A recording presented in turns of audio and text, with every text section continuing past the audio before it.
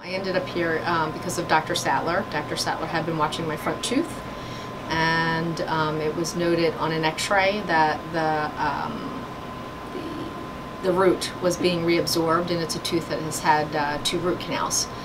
And um, during a routine um, x-ray they, they found the problem and he had talked to me about getting an implant and I asked him who he had recommended. He had given me a list but then leaned towards Dr. Levine and so I came here and pretty upset obviously knowing that I could possibly lose well I ended up losing my front tooth um, and I came in here for my first consult and immediately knew that I was in the right place um, everybody from the front desk to Dr. Levine himself were were fabulous, listened to my concerns, and were very genuine.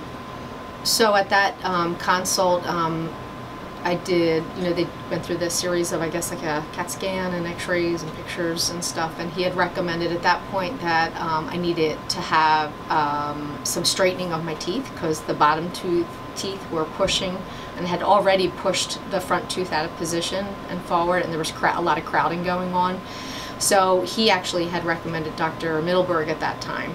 So I got in touch in touch with him um, and again that the communication that he knew I was coming he knew everything when I got there what was going on knew about that I was going to lose the front tooth um, and was very helpful actually all of them Dr. Levine Dr. Middleberg and Dr. Sattler very reassuring if I in the process of all that what I would do if I lost my front tooth.